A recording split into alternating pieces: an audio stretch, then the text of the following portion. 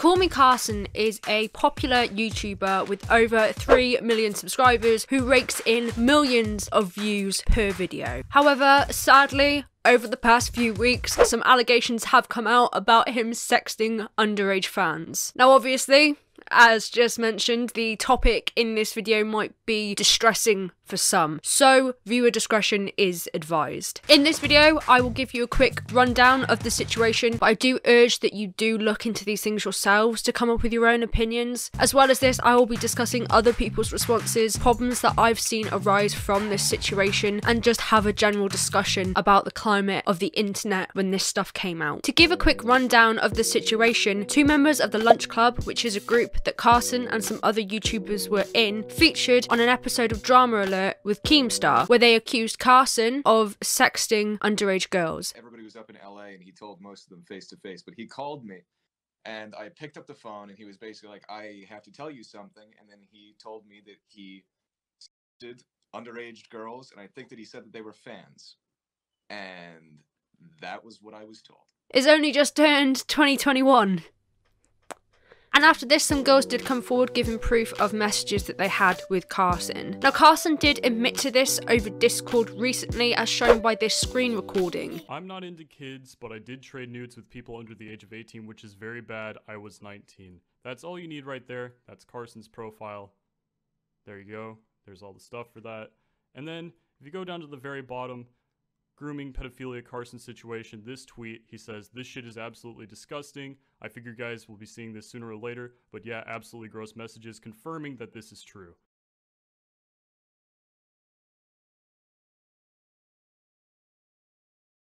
As of recording this video, he has not made a public statement on any of his platforms. Now, other members of the Lunch Club have come forward on their platforms and made statements or videos detailing reasons why they didn't speak up sooner. For example, Slimecicle said that he reported it to the authorities when he found out about it and cut all ties with Carson. Schlatt, however, made a video detailing that the situation had been significantly underplayed to him. He just tried to help his friend get out of a dark place and improve. I just want to say, like, I, never condoned what had what he had done.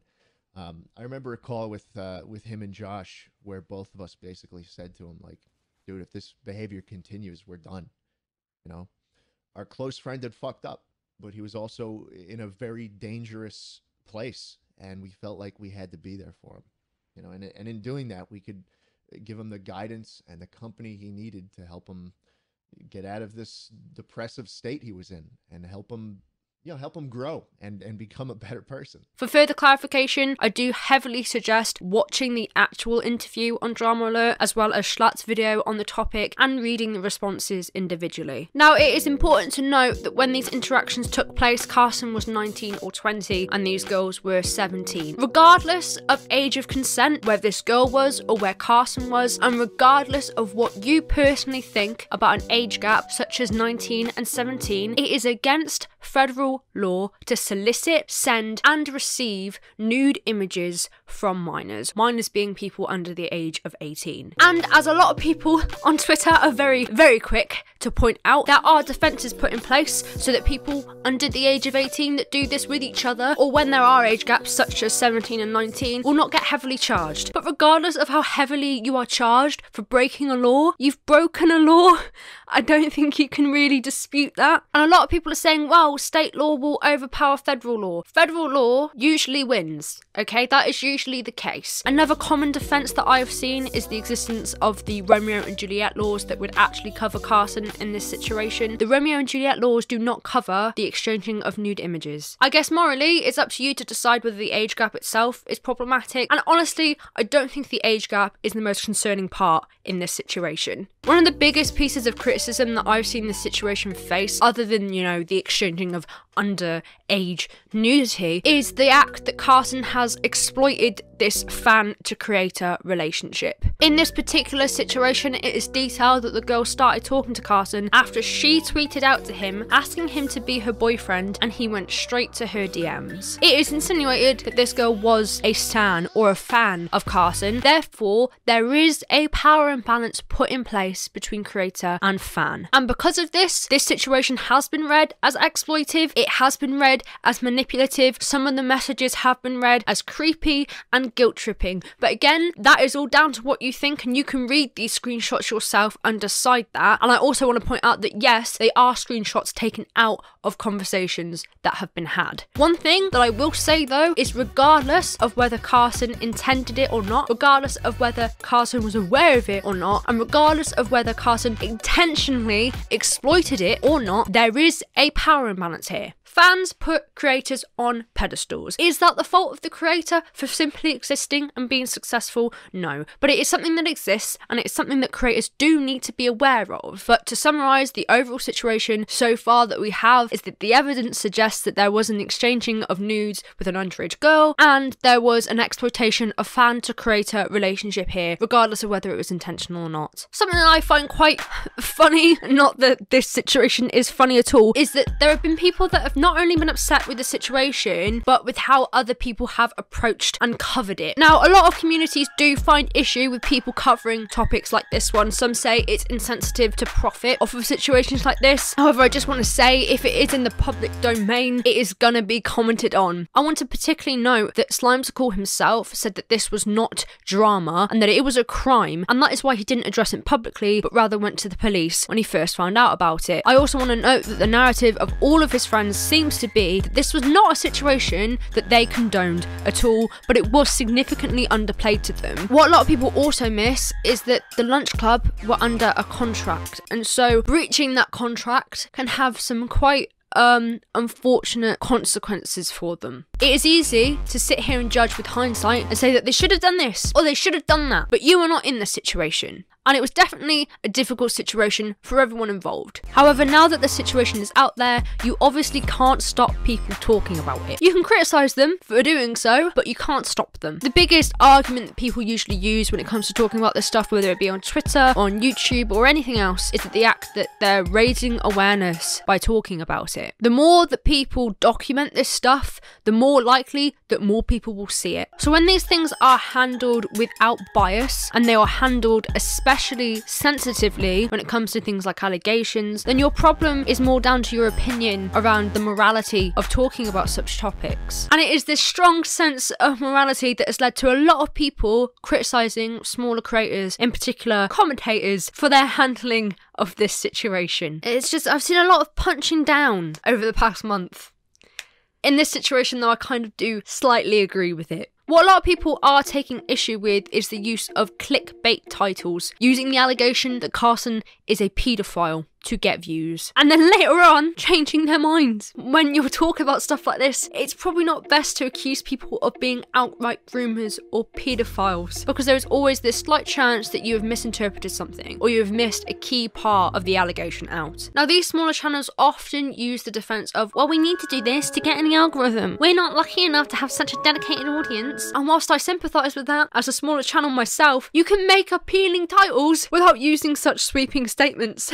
it is strange because a lot of people interpret paedophile and grooming to be a lot different from what the actual definitions are. Different sites have different definitions. Different countries have different definitions of what these things are, depending on what the laws regarding this kind of thing is in that country. So it is very, very important that you're careful when you throw around words like that. The word paedophile in this situation has been used a lot, and although I do agree that Carson's behaviour was weird, unnecessary, exploitive, and can be read as manipulative regardless of whether it's intentional or not, as well as legally wrong, paedophilia is quite a broad statement, especially considering it is usually used to talk about older people preying on pre-pubescent kids, not 19 year olds talking to 17 year olds. And therefore, having such a blanket title, such as Call Me Carson, is a pedo, which has now been changed by the channel in question. A lot of people are going to make a decision about this situation without knowing the full context, simply based off of that title. And yeah, you can make the argument that these people shouldn't judge a book by this cover, which has been another key defense of this person saying that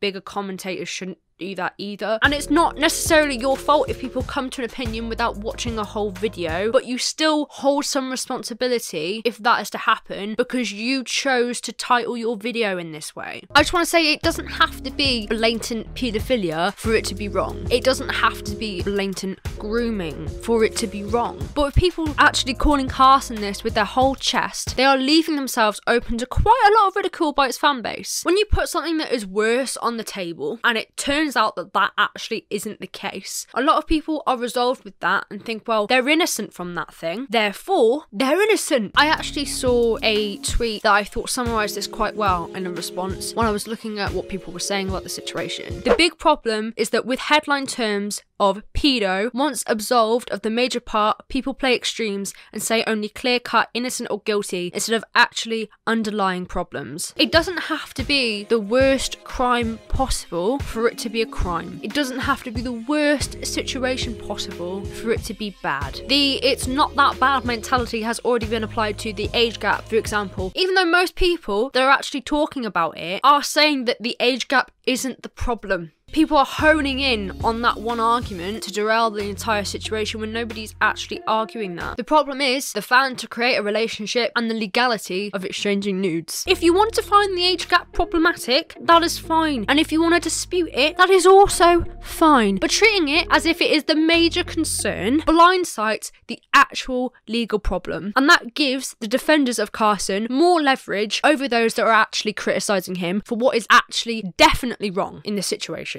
On the other side of things, though, the large creators with platforms putting these small channels on blast could show them an ounce of sympathy. Let me reiterate that I do not agree with the way that they are titling their videos, and as someone who is a commentary channel, I really, do- I really don't agree with it. However, I do, to an extent, understand where the reasoning is coming from. You could argue that it's problematic that people are only covering the situation for views, but realistically, that is what we all do on this platform. We do everything on this platform for views. Now, that doesn't have to necessarily be a bad thing. For example, doing it for views can be so that information reaches as many people as possible. And it might not be your driving factor, but you're putting it on the platform for people to see. And clickbaiting content is going to make it so more people see the video and more people get the information, and therefore you get more views. Now, I personally didn't really agree with clickbaiting titles. I didn't really agree with exaggerative titles. Is that even a word? I'm gonna go out. I'm gonna go and say it is a word. However, I quickly learned that is what you have to do to get in the algorithm. It is a tough game, and I don't necessarily 100% agree with it, but you gotta do it. However, I do obviously acknowledge that there are times where people do go a bit too far, like uh, blatantly calling people sweeping statements, or saying that someone is definitely innocent or definitely guilty of things that are a bit more nuanced than that. You can have exaggerated titles without them being that exaggerated, and that is the problem. Although, like I said, there are ways of pushing your content without clickbaiting, not every commentary channel spawns in with 100k. Not every commentary channel has a community behind them that pushes them, and not every commentary channel gets lucky with the algorithm, especially not on every video. It's easy to point out as well that those that have grown from boosts or got lucky may not actually remember what those situations were like. So obviously, they're not going to consider that. They're not going to consider the reasoning behind titling videos in this way. But because of this existence of sometimes a moral high ground or an out of touch or just the failure to see reasoning behind someone's actions, a lot of these channels, when going in on smaller channels, don't consider that whilst criticize them. And those are two things that can mutually exist. Try to do it in this video. At least I attempted it. Sadly, though, all in all, it is clickbaiting, and clickbaiting gives not only the commentary community, but the smaller commentary community and other communities on YouTube a bad name and a bad reputation. But that is not something that's going to change anytime soon, regardless of how many Twitter posts you make about it. But the main problem is, is an exaggerated stance or a poorly worded accusation. It's often enough to derail a situation such as this one. And although it is important that people do get called out for this kind of thing because it is definitely an issue issue. I think the focus should actually be on the fact that Carson messed up here and needs to be held accountable for what he's done. Now you can speculate all you like about the situation of whether it was intentional exploitation, whether it was grooming or paedophilia, but the thing that is indisputable from the evidence is the fact that he did break a federal law and the fact that there was a fan to create a relationship that has been exploited. That should be the focus until more evidence comes to light. I watched a video from 2017 the other day when commentary was first becoming a big thing, and a particular creator said that usually when drama escalates on the internet, bits and pieces of information get fed in and suddenly it becomes part of the narrative and that narrative doesn't get disputed. So then when bigger creators come in and talk about it often these little pieces of false information can derail their arguments completely. I'm gonna leave this video here. If you did enjoy please leave a like and subscribe if you're new as well as turning on bell notifications. These situations are becoming increasingly more and more popular it seems and uh we're only seven days in to 2021. I hope you're all staying safe, I hope you're all staying sane, and with that, I'll see you soon.